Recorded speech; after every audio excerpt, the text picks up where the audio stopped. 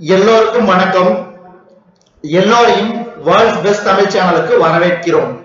இந்த காணொளியில் நாம் பார்த்து இருப்பது வரலாறு. அதுல வந்து பார்க்க போனா தக்கான அரசுகள். தக்கான அரசுகள்ங்கிற பாடப்பகுதியை வந்து நாம் வந்து இந்த காணொலியில வந்து முழுசா பார்க்க போறோம். இப்போ நீங்க இந்த காணொளியை பார்த்து முடிக்கும் போது உங்களுக்கு தக்கான அரசுகள் பற்றின குறிப்புகளும் அதற்குரிய முக்கியமான அதாவது குறிப்புகள் மற்றும் அதாவது பாத்தீங்கன்னா அப்ஜெக்டிவ்ல எந்த மாதிரி கேட்டாலும் சரி அதுக்கு உங்களால வந்து தக்கான அரசுகள் வந்து எந்த மாதிரியான கேள்விகள் கேட்கும்போது உங்களால வந்து சுலபமா பதிலளிக்க முடியும். இந்த காணொலி முடிவுல. இப்போ நம்ம நேரடியாக காணொலிக்குள்ள போயிடலாம். தக்கான அரசுகள் இந்தியாவின் தெற்கு பகுதியானது தக்கானம் அல்லது தட்சணபதம் என அழைக்கப்படுகிறது. அப்போ இந்தியாவின் தெற்கு பகுதி என்னவென்று அழைக்கப்படுகிறது? தக்கானம் அல்லது தட்சணபதம் விந்திய சாத்பூரா மலைகளும் நர்மதை தபதி நதிகளும் அடர்த்தியான காடுகளும் வட இந்தியாவை தென்னிந்தியாவிலிருந்து பிரிக்கின்றன. இதனால்தான் வட இந்தியாவின் வரலாற்று நிகழ்வுகள் தென்னிந்தியாவில் பெரும் பாதிப்பினை ஏற்படுத்தவில்லை. இடைக்காலத்தில் சாளுக்கியர்களும் ராட்டிரகூடர்களும் தக்காணத்தில் ஆட்சியை ஏற்படுத்தினார்கள். சாளுக்கியர்களின் வீழ்ச்சிக்கு பிறகு இவர்களின் இவர்களிடம் திரை செலுத்தி வந்த குறுநில அரசர்களாகிய ஹொய்சாளர்கள் காகத்தியர்கள் யாதவர்கள் ஆகியோர் சுதந்திர அரசை நிறுவினார்கள். இக்காலகட்டத்தில் டெல்லி சுல்தானியர்களான கில்ஜி மரபினரும் துக்ளக் மரபினரும் தென்னிந்தியாவில் தங்களின் மேலாண்மையை விரிவாக்கினர். இதெல்லாம் நல்லா ஞாபகம் வச்சுக்கணும். இந்த பகுதி வந்து மிக மிக முக்கியமான பகுதி. அதாவது தக்காணத்தோட அறிமுகம். இந்தியாவின் தெற்கு பகுதியானது தக்காணம் அல்லது தட்சரணபதம் என அழைக்கப்படுகிறது. விந்திய சாத்பூரா மலைகளும் நர்மதை தபதி நதிகளும் அடர்த்தியான காடுகளும் வட இந்தியாவை தென்னிந்தியாவிடமிருந்து பிரிக்கின்றன. இதனால்தான் வட இந்தியாவின் வரலாற்று நிகழ்வுகள் தென்னிந்தியாவில் பாதி பெரும் பாதிப்பினை ஏற்படுத்தவில்லை. இடைக்காலத்தில் சாளுக்கியர்களும் ராட்டிரகூடர்களும் தக்காணத்தில் ஆட்சியை ஏற்படுத்தினார்கள். சாளுக்கியர்களின் வீழ்ச்சிக்கு பிறகு இவர்களிடம் திரை செலுத்தி வந்த குறுநில அரசர்களாகிய பொய்சாளர்கள் காக்காத்தியர்கள் யாதவர்கள் ஆகியோர் சுதந்திர அரசை நிறுவினார்கள். இக்காலகட்டத்தில் டெல்லி சுல்தானியர்களான கில்ஜி மரபினரும் துக்ளக் மரபினரும் தென்னிந்தியாவில் தங்களின் வேளாண்மையை விரிவாக்கினர். இப்போ முதன் முதல்ல நாம் பார்க்க போறது சாளுக்கியர்கள். சாளுக்கியர்கள் வந்து கிபி ஆறாம் நூற்றாண்டு முதல் பன்னெண்டாம் நூற்றாண்டு வரை ஆட்சி செய்தனர். இதுல வந்து தக்காணத்தை ஆண்ட அரசுகளில் முக்கியமான ஆட்சியாளராக சாளுக்கியர்கள் விளங்கினர். இவர்களது ஆட்சி காலத்தை மூன்று விதமாக பிரிக்கலாம். அதாவது சாளுக்கியர்களோட ஆட்சி காலத்தை மூன்று விதமாக பிரிக்கலாம். ஒன்று முற்கால மேலை சாளுக்கியர் பிற்கால மேலை சாளுக்கியர் கீழை சாளுக்கியர் இதுல வந்து முற்கால மேலை சாளுக்கியர் வந்து கிபி ஆறாம் நூற்றாண்டு முதல் எட்டாம் நூற்றாண்டு வரை பிற்கால மேலை சாளுக்கியர் வந்து பத்தாம் நூற்றாண்டு முதல் பன்னெண்டாம் நூற்றாண்டு வரை. இந்த இடைப்பட்ட காலத்துல ஏழாம் நூற்றாண்டு முதல் பன்னெண்டாம் நூற்றாண்டு வரை வந்து இந்த கீழை சாளுக்கியர் நூற்றாண்டுகள் ஆகும். இப்ப நம்ம முதல்ல வந்து முற்கால மேலை சாளுக்கியர் அதாவது கிபி ஆறாம் நூற்றாண்டு முதல் எட்டாம் நூற்றாண்டு வரை. கிபி ஆறாம் நூற்றாண்டில் இன்றைய கர்நாடக மாநிலம் அமைந்துள்ள பகுதியில் சாளுக்கியர்கள் தங்களது அரசாட்சியை ஏற்படுத்தினர். தற்போது பதாமி என்று அழைக்கப்படும் பிஜப்பூர் மாவட்டத்தில் உள்ள வாதாபி அவர்களுடைய தலைநகரமாய் விளங்கியது. அப்ப முற்கால மேலை சாளுக்கியரது தல அதாவது தலைநகரமாக விளங்கிய பகுதி எதுன்னு கேட்டாங்கன்னா வாதாபி வாதாபி. இப்போ வந்து பதாமின்னு அழைக்கப்படுகிறது. அதாவது ஜெயசிம்மன் ராமராய ராமராயா ஆகியோரது காலத்தில் தான் சாளுக்கிய மரபு மெல்ல வளர தலைப்பட்டது. முதலாம் புலிகேசி வந்து கிபி ஐநூத்தி நாற்பத்தி மூணு முதல் ஐநூத்தி அறுபத்தி ஆறு வரை வாதாபி சாளுக்கிய மரபிற்கு அடித்தளமிட்டவர் ஆவார் சாளுக்கிய அரசர்களில் மிகச்சிறந்தவர்கள் மிகச்சிறந்தவராக இரண்டாம் புலிகேசி விளங்கினார். அதாவது கிபி அறுநூத்தி பத்து முதல் அறுநூத்தி நாற்பத்தி ரெண்டு வரை. இரண்டாம் புலிகேசி கங்கர் மாளவர்கள் கூர்ஜ கூர்ஜரர்கள் ஆகியோரை வென்றதோடு கிபி அறுநூத்தி முப்பத்தி ஏழில் ஹர்சரின் படையெடுப்பை எதிர்த்து நின்று வெற்றியடைந்தார். தெற்கு பகுதியில் ஆட்சி செய்த பல்லவர்களுடன் தொடர்ந்து போரிட்டுக் கொண்டிருந்தார். பல்லவ மன்னன் முதலாம் மகேந்திரவர்மனை வென்று பின்னர் காவேரி நதியை கடந்து கடந்து சென்று சேர சோழ பாண்டியர்களிடம் நட்பை ஏற்படுத்திக் கொண்டார். எனினும் கிபி அறுநூத்தி நாற்பத்தி ரெண்டில் மகேந்திரனின் மகன் நரசிம்மவர்மன் இரண்டாம் புலிகேசி மீது படையெடுத்து புலிகேசியை கொன்றார். முதலாம் விக்ரமாதித்தன் விஜயாதித்தன் இரண்டாம் விக்ரமாதித்தன் ஆகியோர் சாளுக்கிய மரபில் குறிப்பிடத்தக்க மன்னர்கள் ஆவர். அதாவது இது வந்து தக்கான அரசுகளுக்கான மேப்பு. இத வந்து நம்ம இந்த பாட முடிவில் வந்து நம்ம பார்க்க போறோம். இவர்களது காலத்திலும் சாளுக்கிய பல்லவ போராட்டங்கள் தொடர்ந்தன. ராட்டிரகூடர்கள் மூலமாக புதியதொரு ஆபத்தும் வந்தது.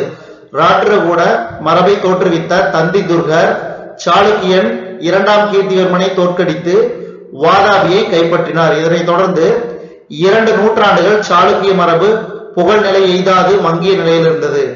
அடுத்தது கல்யாணியை ஆண்ட பிற்கால மேலை சாளுக்கியர்கள். பிற்கால மேலை சாளுக்கியரது காலம் வந்து கிபி பத்தாம் நூற்றாண்டு முதல் பன்னெண்டாம் நூற்றாண்டு வரை. கல்யாணியை தலைநகரமாக கொண்டு கிபி பத்தாம் நூற்றாண்டின் இறுதியில் மேலை சாளுக்கியர்கள் ஆட்சியை அமைத்தனர். அதாவது பிற்கால முற்கால மேலை சாளுக்கியரோட தலைநகரம் வாதாபி பிற்கால மேலை சாளுக்கியரோட தலைநகரம் வந்து பாத்தீங்கன்னா என்னது? கல்யாணி. இதனால நான் வச்சுக்கணும். இவர்களது ஆட்சி கிபி பன்னெண்டாம் நூற்றாண்டு வரை தொடர்ந்தது. பிற்கால மேலை சாளுக்கிய மரபை தொடங்கிய அரசர் இரண்டாம் தைலப்பா. அதாவது கிபி தொள்ளாயிரத்தி எழுபத்தி மூணுல இருந்து தொள்ளாயிரத்தி தொண்ணூத்தி ஏழு வரை ஆண்டார். பிற்கால மேலை சாளுக்கிய மரபின் சிறந்த மன்னர்களாக இரண்டாம் சோமேஸ்வரன் இரண்டாம் ஜெயசிம்மன் ஆறாம் விக்ரமாதித்தன் ஆகியோர் கருதப்படுகின்றனர். அப்ப பிற்கால மேலை சாளுக்கிய மரபின் சிறந்த மன்னர்களாக யார் யார் கருதப்படுகிறார்கள்னா இரண்டாம் சோமேஸ்வரன் இரண்டாம் செயசிம்மன் ஆறாம் விக்ரமாதித்தன் ஆகியோர் கருதப்படுகின்றனர். நான்காம் சோமேஸ்வரன் இந்த மரபின் கடைசி மன்னர். அதாவது பிற்கால மேலை சாளுக்கிய அரசை நிறுவியவர் யாருன்னு பார்த்தா இரண்டாம் தைலப்பா. இதை முடிவுக்கு கொண்டு வந்தவர் கடைசி மன்னர் வந்து நான்காம் சோமேஸ்வரன். அடுத்தது வெங்கியை ஆண்ட கீழை சாளுக்கியர் கீழை சாளுக்கியர் வந்து இரண்டாம் புலிகேசியின் அதாவது இரண்டாம் புலிகேசியின் சகோதரரான விஷ்ணுவர்தன் கீழை சாளுக்கிய மரபை தொடங்கிய மன்னராவார். இந்த கீழை சாளுக்கியர் அரசுகள் வந்து கிபி ஏழாம் நூற்றாண்டு முதல் பன்னெண்டாம் நூற்றாண்டு வரை இருந்தன. இவர்கள் பல தலைமுறைகளாக மேலை சாளுக்கியர்களிடமிருந்து தனித்து ஆட்சி புரிந்தனர். கீழை சாளுக்கியர்கள் சோழ மரபுடன் திருமண உறவுகளை கொண்டிருந்தனர். இத்திருமண உறவின் வழியே வழியாக தோன்றிய வாரிசே குலோத்துங்க சோழன் ஆவார் கிபி ஆயிரத்தி எழுவத்தி ஒண்ணு முதல் ஆயிரத்தி நூத்தி இருபத்தி ரெண்டு ஆவார். இவர் கீழை சாளுக்கிய நாட்டின் நாட்டினை சோழ பேரரசுடன் இணைத்து சோழ நாட்டு மன்னரானார். சாளுக்கியர்களின் பங்களிப்பு. சாளுக்கிய மன்னர்கள் இந்து சமயத்தை போற்றினர். அதே வேளையில் சமண மதத்தையும் ஆதரித்தனர். இரண்டாம் புலிகேசியின் அவை புலவரான ரவிகீர்த்தி ஜஹோலே கல்வெட்டுகளை படைத்தவர் ஆவார் இவர் சமண சமயத்தை சேர்ந்தவர். ரவிகீர்த்தி வந்து சமண சமண சமயத்தை சேர்ந்தவர். சாளுக்கியர்கள் கட்டடக்கலையை பெரிதும் ஆதரித்தனர். எழுபதுக்கும் மேற்பட்ட கோயில்களை ஜஹோலேவில் கட்டினார். இதனால் ஜஹோலே இந்திய கோயில் கட்டிடக்கலையின் தொட்டில் என்று என சிறப்பிக்கப்படுகிறது. இதுதான் வந்து ஜஹோலோ ஜஹோலே கோயில். அப்ப ஜஹோலே கோயில் வந்து எவ்வாறு அழைக்கப்படுகிறது? இந்திய கோயில்களின் கட்டிடக்கலையின் தொட்டில் என மன்னிக்கிறது ஜகுல்ல ஐஹோலே ஐஹோலே கோவில். ஐஹோலே கோவில். அப்ப இந்திய கோயில் கட்டடக்கலையின் தொட்டில் என அழைக்கப்படுவது ஐஹோலே மேலும் பட்டாடக்கல்லில் உள்ள விருபாக்ஷர் ஆலயம் பட்டாடக்கல்லில் கோவில்கள் பட்டாடக்கல் கோவிலில் உள்ள விருபாட்சர் ஆலயம் பதாமி குகை கோயில்கள் ஆகியன மற்ற சிறந்த ஆலயங்களாகும். விருபாட்சர் கோவில் காஞ்சிபுரத்தின் கைலாசநாதர் கோவிலை போல கட்டப்பட்டுள்ளது. சாளுக்கிய காலத்தில் தெலுங்கு இலக்கியங்கள் வளர்ச்சி அடைந்தன. இப்ப பட்டாளக்கல்லு விருபாட்சர் கோவில் என்பது என்னன்னு பார்க்க போறோம்.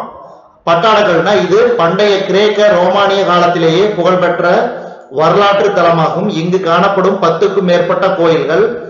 சாளுக்கிய மன்னர்களால் கட்டப்பட்டவைகள் ஆகும். அடுத்தது விருபாட்சர் கோவில். இக்கோவில் இரண்டாம் விக்ரமாதித்தனின் மனைவி ராணி லோக ம- மகாதேவியால் கட்டப்பட்டதாகும். இக்கோவிலின் புரோகிதர் அல்லது அந்தராலா அறைக்கு முன்னால் தூண்களான மண்டபம் ஒன்று பொதுமக்கள் கூடுகைக்காக உருவாக்கப்பட்டுள்ளது. அடுத்தது சாளுக்கியர்கள் பார்த்துட்டோம். அடுத்தது ராற்றகூடர்கள் இவர்களது காலம் வந்து கிபி எட்டாம் நூற்றாண்டு முதல் பத்தாம் நூற்றாண்டுகள் வரை. ராட்டிரகூடர்களின் ஆட்சி காலம் தக்கான வரலாற்றின் சிறப்புக்குரிய காலமாகும். அதாவது கிபி எழுநூத்தி ஐம்பத்தி மூன்று முதல் தொள்ளாயிரத்தி எழுபத்தி ஐந்து வரை.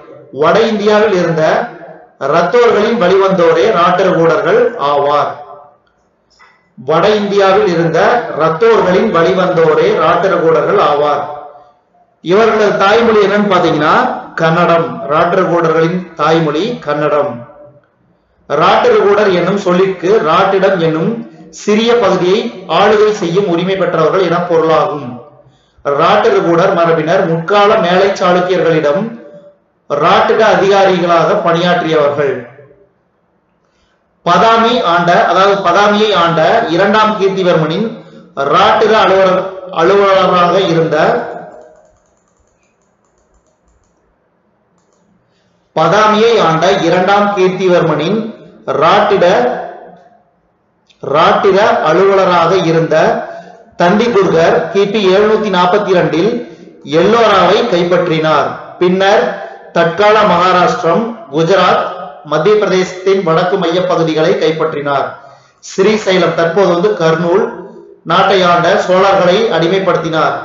கிபி எழுநூத்தி ஐம்பதில் காஞ்சிபுரத்தை முற்றுகையிட்டு இரண்டாம் நந்திவர்மனுடன் திருமண ஒப்பந்தம் செய்து கொண்டு தனது மகள் ரேவாவை பல்லவ மன்னனுக்கு மணமுடித்தார் பின்னர் தான் திரை செலுத்தி வந்த மேலை சாளுக்கிய மன்னர் இரண்டாம் கீர்த்திவர்மனை தோற்கடித்து கிபி எழுநூத்தி ஐம்பத்தி மூன்றில் தக்கான பகுதியில் நிலையான அரசினை ஏற்படுத்தினார். மால்கெட் நகரை தலைநகரமாக கொண்ட இந்த ராட்டிரகூட பேரரசு வடக்கே நாசிக் வரை பரவி இருந்தது. அப்ப ராட்டிர்களின் ராட்டிடர்களின் தலைநகரங்கன்னு கேட்டா மால்கெட். அடுத்தது கிபி எழுநூத்தி ஐம்பத்தி ஆறில் தந்திதுர்கர் மரணமடைந்த பிறகு முதலாம் கிருஷ்ணர் பட்டமேற்றார். அவருடைய காலம் வந்து ஆட்சி காலம் எ- கிபி எழுநூத்தி ஐம்பத்தி ஆறு முதல் எழுநூத்தி எழுபத்தி ஐந்து வரை. இவர் சில்ஹரா இனத்தவரை தன்னுடைய குறுநில மன்னராக்கினார். கங்கவாடி பகுதியை வென்றார். இவரை தொடர்ந்து இவரின் மகன் இரண்டாம் கோவிந்தன் ஆட்சியில் அமர்ந்தார். இவர் வேங்கியின் மீது படையெடுத்து வென்றார். கங்கவாடி காஞ்சிபுரம் மாலவம் ஆகிய மன்னர்களுடன் உடன்படிக்கையை செய்து கொண்டார். கோவிந்தனுக்கு அடுத்து பதவிக்கு வந்தவர் துருவன் துருவன். துருவன் வந்து கிபி எழுநூத்தி எண்பது முதல் எழுநூத்தி தொண்ணூத்தி ரெண்டு வரை ஆட்சி புரிந்தார் என்பது குறிப்பிடத்தக்கது. இவர் சிறந்த ஆட்சியாளராக விளங்கினார். மாலவ பகுதியை தமது நாட்டுடன் இணைத்தார். கனோஜ் மன்னர் சக்கர யுத்தனை தமது ஆளு ஆளுகைக்கு உள்ளாக்கினார். பல்லவ மன்னன் தண்டிவர்மனை வென்றார். இலங்கையை கைப்பற்றி அடிமைப்படுத்தினார். வெங்கியை ஆண்ட இரண்டாம் விஜயாதித்தனை வென்று அவரது ஒன்றுவிட்ட சகோதரர் பீமா என்பவருக்கு ஆதரவாக நடந்து கொண்டார். இவரது காலத்தில் ராட்டிடகூட அரசு புகழின் உச்சத்தை அடைந்தது. அடுத்தது மூன்றாம் கோவிந்தனுக்கு பிறகு. மூன்றாம் கோவிந்தப்பா கிபி எழுநூத்தி தொண்ணூத்தி ரெண்டு முதல் எட்நூத்தி பதினாலு வரை. அவரின் மகன் அமோக வர்ஷன். தமது பதினான்காம் வயதில் மன்னரானார். இவரது ஆட்சி காலம் வந்து கிபி எட்நூத்தி பதினாறு பதினான்கு முதல் எட்நூத்தி எண்பது வரை. எனவே அமோக வர்ஷனின் மைத்துனன் கார்கா வெங்கி மன்னர் இரண்டாம் விஜயாதித்தன் கங்க மன்னன் முதலாம் ராச மன்னன் ஆகியோரை தோற்கடித்தார் இந்த அமோக வர்ஷன் பின்னர் அமோக வர்ஷன் சாளுக்கியர்களை தோற்கடித்து வெங்கியை கைப்பற்றினார். அடுத்து பதவியேற்ற அரசர்களில் குடி- குறிப்பிடத்தக்கவர் மூன்றாம் கிருஷ்ணர். மூன்றாம் கிருஷ்ணரோட காலம் வந்து பாத்தீங்கன்னா கிபி தொள்ளாயிரத்தி முப்பத்தி ஆறு முதல் தொள்ளாயிரத்தி அறுபத்தி எட்டு வரை அவரது ஆட்சி காலம். இவர் அதாவது மூன்றாம் கிருஷ்ணர் தக்கோலம் போரில் சோழர்களை வென்று தஞ்சாவூரை கைப்பற்றி ராமேஸ்வரம் வரையில் வந்தார். ராட்டிரகூடர்களின் கடைசி அரசர் இரண்டாம் கார்கா. இவரது ஆட்சி காலம் வந்து ஒரே ஒரு வருஷம் கிபி தொள்ளாயிரத்தி எழுபத்தி இரண்டுல இருந்து தொள்ளாயிரத்தி எழுபத்தி மூணு வரைக்கும். இவர் கல்யாணியை ஆண்ட சாளுக்கிய அரசர் இரண்டாம் தைலப்பா என்பவரால் தோற்கடிக்கப்பட்டார். இதனால் ராட்டிடகூட பேரரசு முடிவுக்கு வந்தது. இந்த ராட்டிரகூடர்களின் சிறப்புகள் என்னன்னு பாத்தீங்கன்னா ராட்டிரகூட அரசர்களில் துருவன் மூன்றாம் கோவிந்தன் மூன்றாம் இந்திரன் ஆகியோர் வட இந்தியா மீது படையெடுத்தனர். இவர்கள் வட இந்திய அரசர்களை தோற்கடித்தமையினால் வட இந்திய வரலாற்றின் போக்கினையே மாற்றியமைத்தனர். ராட்டிரகூடர்களின் தென்னிந்திய படையெடுப்புகளும் குறிப்பிடத்தகுந்தவையாகும். மூன்றாம் கிருஷ்ணன் தென்னிந்தியாவில் ராமேஸ்வரம் வரை சென்றார். மேலும் இவர்கள் பாலர்கள் பிரதிகாரர்கள் கீழை சாளுக்கியர்கள் சோழர்கள் ஆகியோரை வென்றனர். அடுத்தது எல்லோரா. எல்லோரா குகைகள் சாளுக்கியர்களாலும் பின்னர் ராட்டிரகூடர்களாலும் குடையப்பட்டவை ஆகும். இந்த எல்லோரா குகை கோவில் இந்து புத்த சமண மத கடவுளர்கள் காணப்படுகின்றனர். இங்கு காணப்படும் கைலாசநாதர் கோவில் ஒரே பாறையில் குடையப்பட்ட உலகிலேயே மிகப்பெரிய கோயிலாகும். அடுத்தது ராட்டிரகூடர்களின் பங்களிப்புகள். ராட்டிரகூடர்கள் கலை மற்றும் கட்டடக்கலை பெருமளவில் ஆதரித்து வளர்த்தனர் முதலாம் கிருஷ்ணன் கைலாசநாதர் கோவிலை எல்லோராவில் கட்டினார். மும்பைக்கு அருகில் உள்ள எலிபண்டா குகை கோவிலை கட்டி முடித்தவர்கள் ராட்டிரகூடர்களே அமோக வர்ஷன் இலக்கியங்களை வளர்த்தார். மேலும் இவர் கன்னட மொழியில் கவிராச மார்க்கம் என்ற இலக்கியத்தை படைத்துள்ளார். அப்ப கன்னட மொழியில் கவிராச மார்க்கம் என்ற இலக்கியத்தை படைத்தவர் அமோக வர்ஷன். இவரின் ஆசிரியர் ஜினசேனர் என்பவர் பார்சுவநாதரின் வாழ்க்கை வரலாற்றை பார்சுவ உதயம் என்ற நூலாக படைத்தார். அப்ப பார்சுவ உதயம் என்ற நூலாக படைத்தவர் யார்? ஜினசேனர். அடுத்தது துவார சமுத்திரத்தை ஆண்ட ஹொய்சாளர்கள். இப்ப சாளுக்கியர்களது காலம் முடிஞ்சிருச்சு. அடுத்தது வந்து ராட்டிரகூடர்கள் அதுக்கடுத்து நம்ம இப்ப பார்க்க போறது ஹொய்சாளர்கள். ஹொய்சாளர்கள் வந்து அது தற்போது பார்த்துட்டு இருக்கிறது வந்து பாத்தீங்கன்னா தக்கான அரசுகளை ஆண்ட மரபினர்கள். பல்வேறு மரபினர்கள். இப்போ வந்து நம்ம பார்க்க போறது ஹொய்சாளர்கள். துவார சம சமுத்திரத்தை ஆண்ட ஹொய்சாளர்கள். கிபி பதினொன்னாம் நூற்றாண்டு முதல் பதினான்காம் நூற்றாண்டு வரை அவரது ஆட்சி காலங்கள். துவார சமுத்திரம் என்னும் பகுதியிலிருந்து ஆட்சி செய்த ஹொய்சாளர்கள் பிற்கால கல்யாணி மேலை சாளுக்கியர்களின் குறுநில அரசர்களாவார்கள். முதலாம் வினயாதித்தன் இவருடைய ஆட்சி காலம் கிபி ஆயிரத்தி ஆறு முதல் ஆயிரத்தி இருபத்தி இரண்டு வரை. மைசூர் பகுதி அடங்கிய ஒரு சிற்றரசை நிறுவி சோசவீர் என்ற இடத்தை தலைநகரமாக்கி ஒரு குறுநில அரசரானார். இம்மரபில் குறிப்பிடத்தக்கவர் விஷ்ணுவர்த்தனர். இவர்தம் தலைநகரை துவார சமுத்திரத்துக்கு மாற்றினார். முதலாம் குலோத்துங்க சோழரிடமிருந்து கங்கவாடி பகுதியை கைப்பற்றினார். அப்ப முதலாம் குலோத்துங்க சோழனிடமிருந்து கங்கவாடி பகுதியை கைப்பற்றியவர் யார் அப்படின்னு கேட்டாங்கன்னா அதுக்கு பேர் வந்து முதலாம் வினை ஆதித்தன் அடுத்தது சாளுக்கியர்களுக்கும் சோழர்களுக்கும் இடையீட்டு அரசராக அரசாக கங்கவாடி திகழ்ந்தது. ஹொய்சால மன்னர்களில் குறிப்பிடத்தக்கவர் இரண்டாம் வீரப்பல்லாளா இவரது ஆட்சி காலம் வந்து பாத்தீங்கன்னா கிபி ஆயிரத்தி நூத்தி எழுபத்தி மூணுல இருந்து ஆயிரத்தி நூத்தி இருநூத்தி இருபது வரை. இவர் வந்து யாதவ மரபை சேர்ந்த ஐந்தாம் பில்லாமாவை வென்று ஹொய்சாளர்களின் வலிமையை உறுதி செய்தார். அடுத்து இரண்டாம் நரசிம்மவர்மன் மன்னிக்கவும் இரண்டாம் நரசிம்மன். இவரது ஆட்சி காலம் கிபி ஆயிரத்தி இருநூத்தி இருபது முதல் ஆயிரத்தி இருநூத்தி முப்பத்தி ஐந்து. அப்ப இரண்டாம் நரசிம்மன் காலத்தில் சிங்கனா என்ற யாதவ அரசரிடம் கிருஷ்ணா துங்கபத்ரா நதிகளின் இடைப்பட்ட பகுதியை இழந்தார். இவர் தமிழகத்தில் மாரவர்மன் சுந்தரபாண்டியனை தோற்கடித்து சோழ நாட்டு பகுதியை மூன்றாம் ராசராசனுக்கு மீட்டுக் கொடுத்தார். ராமேஸ்வரத்தில் ஒரு வெற்றி தூணையும் நட்டார். ஹொய்சால மரபின் பிற்கால மன்னர்களில் சிறந்த பேரரசர் மூன்றாம் பல்லாளா. இவரது ஆட்சி காலம் வந்து கிபி ஆயிரத்தி இருநூத்தி தொண்ணூத்தி ஒண்ணு முதல் ஆயிரத்தி முன்னூத்தி நாற்பத்தி ரெண்டு வரை. இப்ப நான் பார்க்க போறது வந்து மூன்றாம் பல்லாளா மூன்றாம் பல்லாளா கிபி ஆயிரத்தி முன்னூத்தி பத்தில் மாலிக் கபூரால் தோற்கடிக்கப்பட்டார்.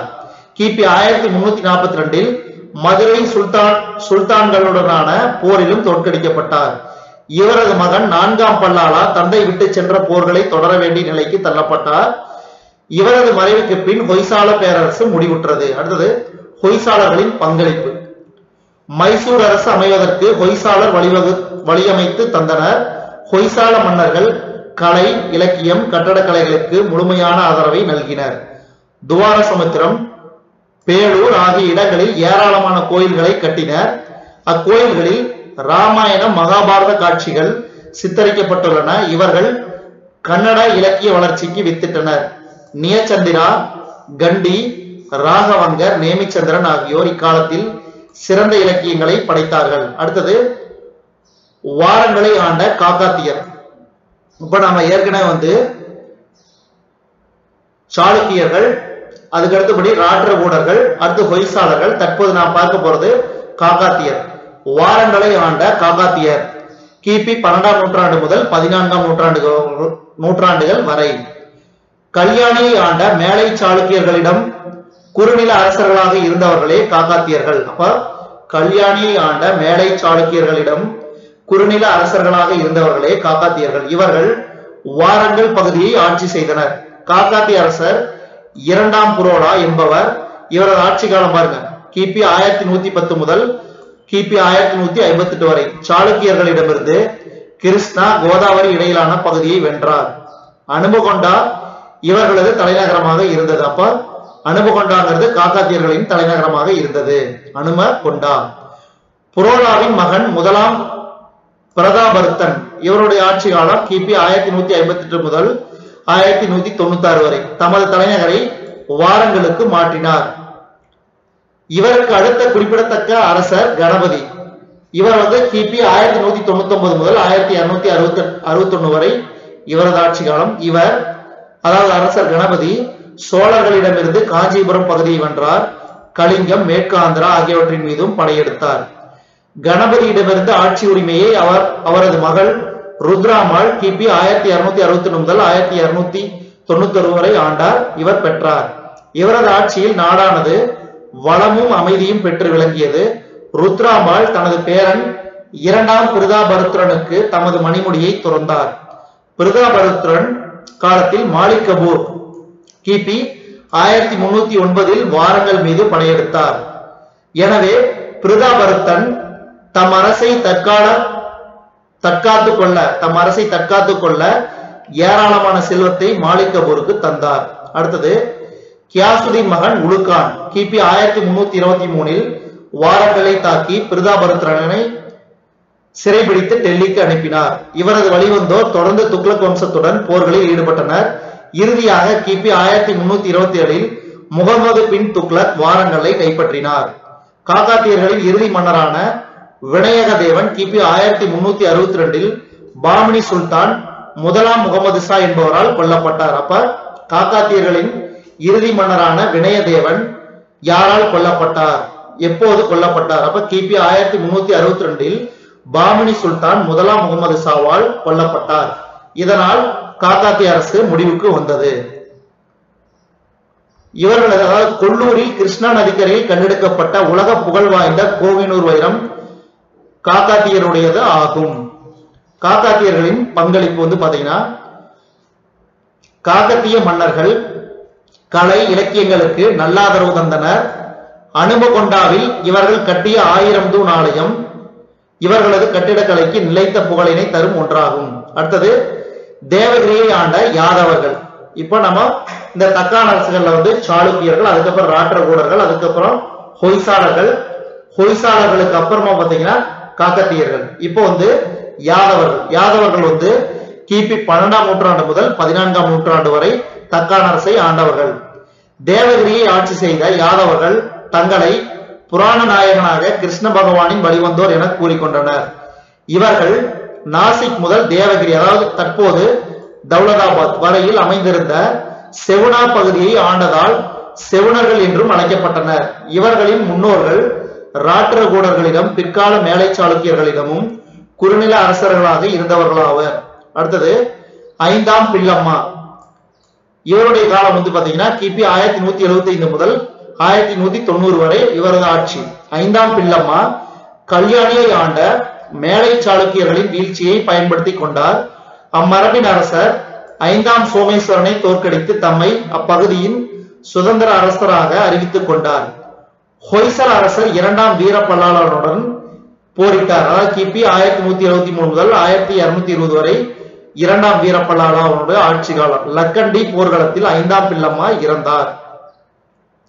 அடுத்தது லக்கண்டி பில்லம்மா மன்னிக்கவும் பில்லம்மா ஐந்தாம் பில்லம்மாவோட மகன் வந்து ஜெய்திரபாலா. கிபி ஆயிரத்தி நூத்தி தொண்ணூத்தி ஒன்று முதல் ஆயிரத்தி இருநூத்தி பத்து வரை ஆட்சி புரிந்தார். காக்கத்தியர்கள் காலச்சூரிகள் கூர்ஜர்கள் கூர்ஜர்கள் ஆகியோரை தோற்கடித்தார். இவரை அடுத்து இவரது மகன் சிங்கனா பட்டமேற்றார். சிங்கனாவோட ஆட்சி காலம் கிபி ஆயிரத்தி இருநூத்தி பத்து முதல் ஆயிரத்தி இருநூத்தி நாற்பத்தி ஏழு வரை. இந்த இவர் இம்மரபின் அதாவது யாதவர்கள் மரபின் மிகச்சிறந்த மன்னர் யாருன்னு பார்த்தா சிங்கனா. காகத்திய அரசன் அரசர் மகாதேவனை வென்றார். ஹொய்சால மன்னன் இரண்டாம் வீரபாலனை தோற்கடித்து கிருஷ்ணா நதியையும் கடந்து தனது எல்லையை விரிவுபடுத்தினார். குஜராத் மீது பலமுறை படையெடுத்தார். யாரு? சிங்கனா அவர்கள். சில்கரா சில்காரா மரபின் கீழ் இருந்த கொல்லாப்பூரை வென்று தம் நாட்டுடன் இணைத்துக் கொண்டார். சிங்கனாவை அடுத்து அவரது பேரன் கிருஷ்ணா. பட்டமேற்றார். இவரது ஆட்சி காலம் வந்து கிபி ஆயிரத்தி இருநூத்தி நாற்பத்தி ஏழு முதல் அறுபது வரை. கிருஷ்ணாவுக்கு பின்னர் அவரது சகோதரன் மகாதேவா. இவரது ஆட்சி காலம் கிபி ஆயிரத்தி இருநூத்தி அறுபதுல இருந்து எழுபத்தி ஒண்ணு வரை மன்னரானார். மகாதேவா வடகொங்கன் பகுதியை தனது நாட்டுடன் இணைத்து சில்ஹாரா ஆட்சியை முடிவுக்கு கொண்டு வந்தார். அடுத்தது ராமச்சந்திர தேவா இந்த யாதவர் மரபின் இறுதி மன்னர் ஆவார் இவரது ஆட்சி காலம் கிபி ஆயிரத்தி இருநூத்தி எழுபத்தி ஒண்ணு முதல் ஆயிரத்தி முன்னூத்தி ஒன்பது வரை. இந்த ராமச்சந்திர தேவாவை அலாவுதீன் கில்ஜி தோற்கடித்து டெல்லிக்கு திரை செலுத்தும் அரசராக மாற்றினார். இவரை அடுத்து அரசரான இவரின் மகன் சங்கதேவர் சங்கதேவனுடைய ஆட்சி காலம் வந்து பாத்தீங்கன்னா கிபி ஆயிரத்தி முன்னூத்தி ஒன்பதுல இருந்து ஆயிரத்தி முன்னூத்தி பன்னெண்டு வரை. டெல்லி சுல்தானுக்கு திரை செலுத்த தவறின காரணத்தினால் மாலிக் கபூர் சங்கரதேவனை போரிட்டு கொன்றார். அதாவது கிபி ஆயிரத்தி முன்னூத்தி பன்னெண்டுல. இதனால் வெகுண்ட சங்கரதேவனின் மைத்துனர் ஹரபாலர் கில்ஜிகளுக்கு எதிராக போர் தொடுத்தார். இறுதியில் ஹரபாலரும் அலாவுதீன் கில்ஜியின் மகன் முபாரக் என்பவரால் கொல்லப்பட்டார். இவற்றின் பின்னர் யாதவ அரசு முடிவடைந்தது. யாதவர்களின் பங்களிப்பு வந்து பாத்தீங்கன்னா தேவகிரி கோட்டையானது யாதவர்களால் கட்டப்பட்டது. வலிமை வாய்ந்த இந்திய கோட்டைகளில் இதுவும் ஒன்று. டெல்லி சுல்தானியர்கள் இக்கோட்டைக்குள் ஜூமா மசூதி சார்மினார் ஆகியவற்றை பிற்காலத்தில் கட்டினர். யாதவர்கள் அறிவியலையும் வானவியலையும் ஆதரித்து வளர்த்தனர். அடுத்தது தக்கான அரசுகளின் முடிவு.